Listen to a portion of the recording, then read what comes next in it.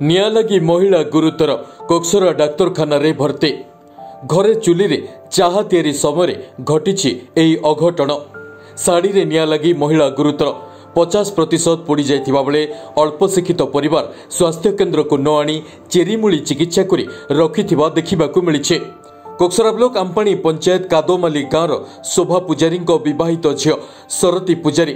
ଗତ ଚାରିଦିନ ତଳେ ନିଜ ସ୍ୱାମୀ ଘର ଗାଁ ବିରି ମହାଣରେ ଘରେ ଚାହା ତିଆରି ସମୟରେ ଶାଢ଼ୀରେ ନିଆଁ ଲାଗିଥିଲା। ତେବେ ତାଙ୍କୁ ଡାକ୍ତରଖାନା ନ ଆଣି ଘରେ ଚେରିମୂଳି ଚିକିତ୍ସା କରୁଥିବା ବେଳେ ସେହି ଗାଁର ଶିକ୍ଷକ ଥିବା ଈଶ୍ୱର ଅଗସ୍ତିଙ୍କ କହିବା ପରେ ବାପଘର ଲୋକେ ପୀଡ଼ିତା ଝିଅଙ୍କୁ କୋକ୍ସରା ମେଡିକାଲରେ ଆଣି ଭର୍ତ୍ତି କରିଛନ୍ତି। ମୋର ନାଁ ଶୋଭା ପୂଜାରୀ ଆଜ୍ଞା। କେନ୍ ଗାଁ? କାଦମଲି ତମର ଝିଅ କେନ୍ତା ହେଇକରି ପୋଡ଼ି ମଲା रहता यहाँ से चा तार सासु ससुर मन के चार ओखाई देला आर से चार ओखाई खावा बोले से आज्ञा पड़ी गला पहुँच बाटे ताके दुनिया लाग गला यहाँ तो आज्ञा गोटे सात आठ दिन गलान हस्पिटाल तो आज्ञा पैसा पतर भी असुविधा ही गला आज्ञा पैसा नहीं मिली खोजी बोलू पैसा भी नहीं मिली कि किसी नहीं तेरे नहीं आनी पार्लु ना आज्ञा तुम जो आई कि आज? आज आसी चाहिए କାଣା କରୁଛେ କେନ୍ତାର ପୋଡ଼ି ମଲା ବୋଲୁଛେ ସେ?